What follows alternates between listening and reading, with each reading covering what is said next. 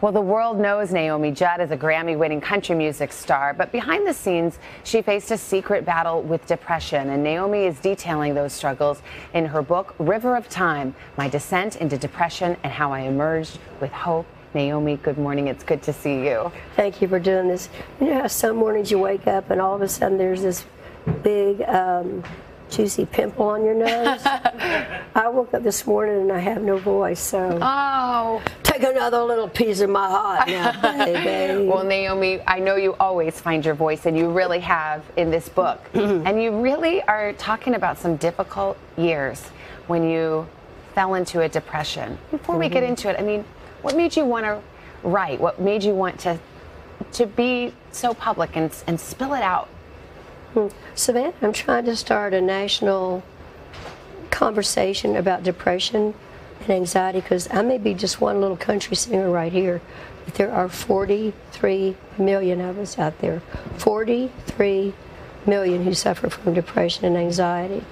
And I want to let the world know that it's not a character flaw, it's a disease, just like you have a disease of the heart, heart disease, or you have cancer, which is wherever cancer of the lungs, and the pancreas.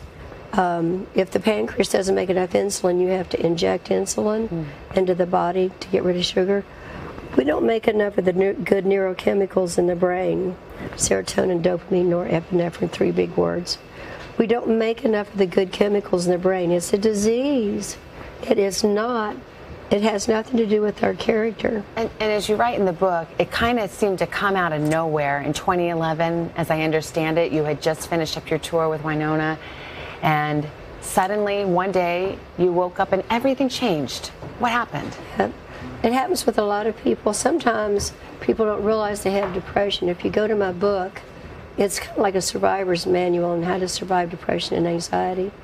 But I realized I wasn't just sadness, like if you have the loss of someone, the loss of a pet, the loss of a job, whatever, you can go into a temporary depression. But this lasted forever. I didn't get off my couch for two years. You were afraid. Well, I was so depressed that I couldn't move. I wouldn't even brush my teeth. I couldn't get out of my PJs. My husband and my girlfriends, and actually, of course, would come over and I would just go upstairs and lock the door in my bedroom. Or they'd come to the driveway and I would just lock the door and stand at the window and look at them. You become immobilized. And then my psychiatrist, um, I finally listened to Ashley and Wynonna and uh, Larry, my husband, and realized I needed professional help. I was dangerously depressed. You talk in the book about thinking about wanting to commit suicide. Yeah. That's how bad it can get. You get down in this, it's so hard to describe because you get down to this deep, dark hole of depression and you really don't think that there's another minute. It's so horrific, you can't even think about another day. But I got so bad that finally Larry and Ashley called 911 in the middle of the night and they took me in and that's when all the therapy started. One of the things that happens with depression is throughout our life, and I've had a lot of tragedies, and I talk about that in the book, but you just keep squelching it down, you just keep suppressing it, and all of a sudden one day, if you don't deal with it, it starts coming out sideways. Mm. And in the book really chronicles the genesis of this and what may have triggered it and your efforts to rise to hope, which you do. And Naomi, I, I'm out of time, but I, I so appreciate your candor and your honesty and you being here and you have found The your book voice. is about hope.